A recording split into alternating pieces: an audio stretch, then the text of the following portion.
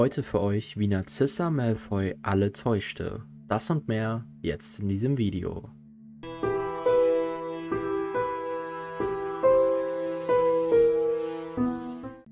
In diesem Video haben wir ein ganz spezielles, aber doch sehr interessantes Thema. Wir sprechen heute über Narcissa Malfoy, ihre Familie, Voldemort und wie sich Narcissa Malfoy Voldemort widersetzte und damit alle täuschte.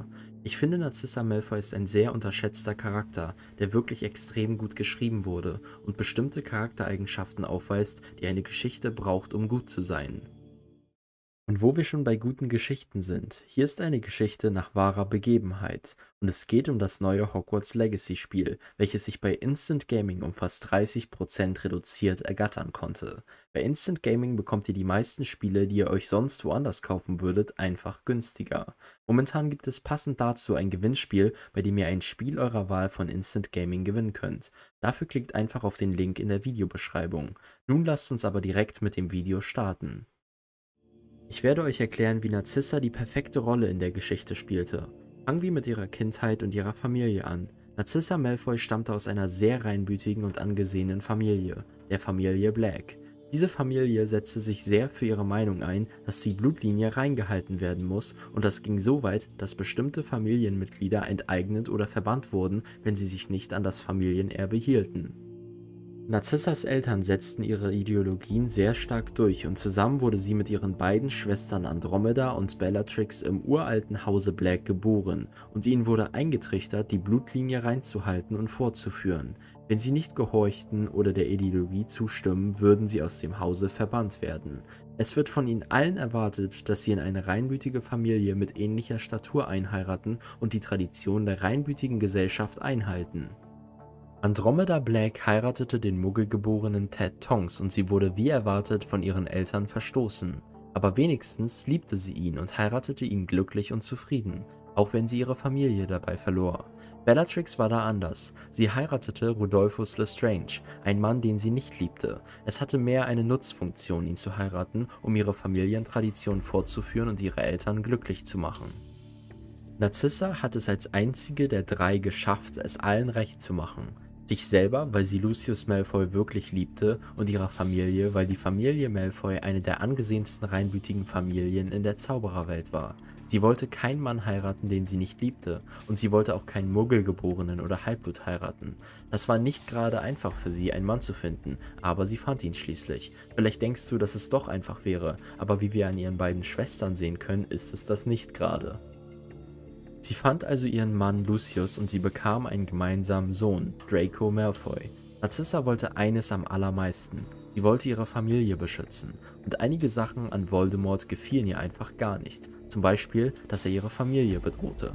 Aber versteht mich nicht falsch, Narcissa Malfoy war nicht gegen alles, was die Todesser taten und tat das nur, weil sie Lucius unterstützen wollte. Oh nein, sie war schon eine richtige Reinblutsverfechterin und vertrat den Glauben ihrer Familie, dass die Zaubererwelt durch Zauberer und Hexen reinen Blutes wiederhergestellt werden muss.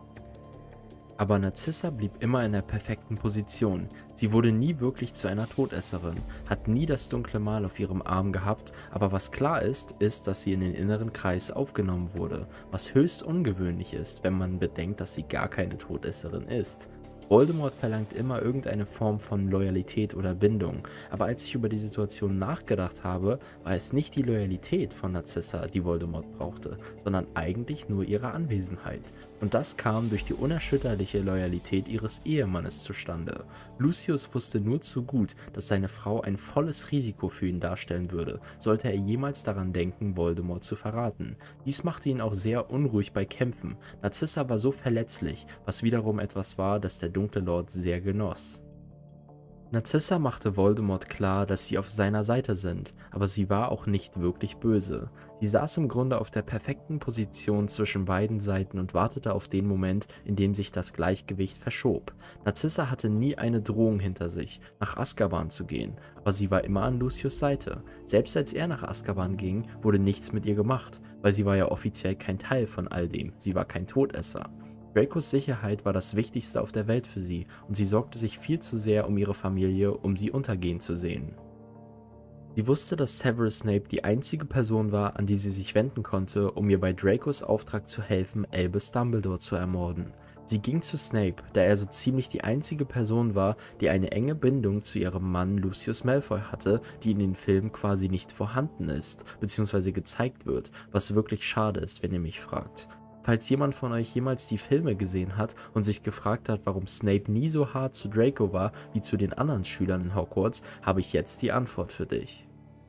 Es war wegen Lucius Malfoy, denn er hat sich um Snape während ihrer Hogwarts-Schulzeit gut gekümmert. Er war älter und hieß Snape in Slytherin willkommen und nahm ihn dort auf. Narcissa wusste, dass sie sich nur an Snape wenden konnte. Narcissa überzeugte sogar Bellatrix, mit ihr zu Snape zu kommen, um ihn zu überzeugen. Aufgrund Bellatrix Hingabe und Loyalität gegenüber Lord Voldemort wissen wir, dass Bellatrix Voldemort mehr bedeutete als ihre Familie. Ihr konnte man also nicht vertrauen. Bellatrix vertraute Snape auch nicht und glaubte, er sei illoyal zu Lord Voldemort, deshalb schlug sie den unbrechbaren Schwur vor. Damit stellte sie sicher, dass entweder die größte Bedrohung ihres Meisters, Albus Dumbledore, verstummen würde oder ihre Zweifel an Severus Snape wahr waren. Dass Snape ein Verräter war und tot umfiel, wenn er zögerte, und so trug sie dazu bei, Lord Voldemort zu helfen. Und da haben wir es. Das ist ihr Motiv. Narcissa wollte die Sicherheit für Draco, ihren Sohn, gewährleisten. Sie wusste, dass Draco vorerst in Sicherheit war, aber sie wusste auch, dass nichts garantiert war. In bestimmten Punkten schied Narcissa aus dem Team Voldemort aus und das war gefährlich. Ihr Moment, um das Gleichgewicht zu verschieben, kam schließlich, als Harry Potter den dunklen Lord im verbotenen Wald traf. Der Junge kam, um zu sterben. Er leistete keinen Widerstand und wurde von Lord Voldemort mit dem tödlichen Fluch belegt. Voldemort setzte seine ganze Macht ein, um ihn zu töten. Als Bellatrix Schwester Narcissa nach dem Jungen sehen wollte, überschritt sie den Punkt, an dem es kein Zurück mehr gab. Wenn sie ihre Rolle nicht tadellos spielte, war sie so gut wie tot. Narcissa dachte nach und gab Voldemort die Information, dass Harry tot sei, obwohl er in Wirklichkeit noch am Leben war. Sie tauschte ihre Loyalität zu Voldemort gegen die Information über das Wohlergehen ihres Sohnes. Sie war fertig und Harry wusste das auch. Narcissa wusste, dass ihre Hilfe für Harry nicht unbemerkt bleiben würde und auch nicht vom Ministerium. Harrys moralische Faser würde es ihm nicht erlauben, diese Information für sich zu behalten.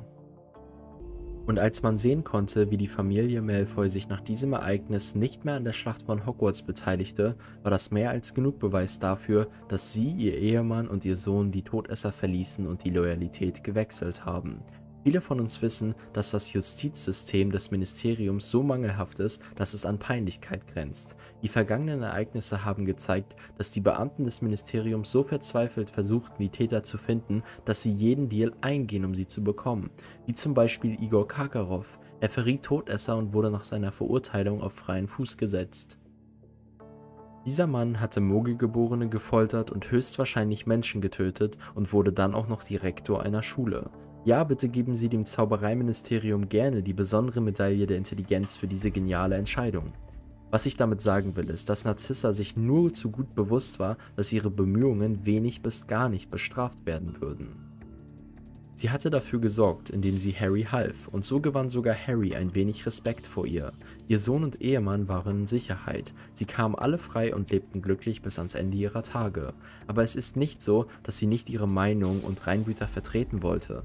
Sie war nur nicht mehr für Lord Voldemort und seine Drohungen. Ihre Entscheidung hatte einen positiven Effekt auf sie und ihre Familie, und sie lernte aus früheren Erfahrungen, wie man mit bestimmten Situationen umzugehen hat. Als Draco darauf bestand, dass sein Kind nicht so erzogen werden sollte, wie er erzogen wurde, nämlich offensichtlich als ein Reinbüter, fanden das Narcissa und Lucius natürlich nicht so gut. Ich finde, dass Narcissa einfach durch die gesamte Harry Potter Saga sehr clever war, aber mehr noch durch den Krieg seit Voldemorts Rückkehr und danach. Da war sie am effektivsten. Sie schien immer die Entscheidungen, die sie traf, zu kontrollieren, selbst wenn sie wusste, dass sie sehr schwierig waren. Sie muss Angst davor gehabt haben, zu Snape zu gehen, aber sie wusste, dass sie es tun musste. Sie muss Angst davor gehabt haben, Voldemort anzulügen, aber sie wusste auch, dass sie es tun musste. Sie zeigte auch, dass die Liebe einer Mutter die stärkste Liebe ist, egal auf welcher Seite du stehst und wer deine Loyalität hat. Narcissa hat alle getäuscht. Ihre Eltern, den dunklen Lord, die Beamten des Ministeriums und viele andere. Sie spielte das perfekte Spiel, ein riskantes Spiel, aber am Ende hat sie gewonnen. Und das war's auch wieder mit diesem Video. Ich hoffe, es hat dir gefallen und wenn es das hat, würde ich mich sehr über einen Daumen nach oben und ein Abo freuen. Wenn du Fragen oder Anmerkungen hast, schreib sie mir gerne in die Kommentare. Bis dahin, bis zum nächsten Mal bei Harry Potter Wissen.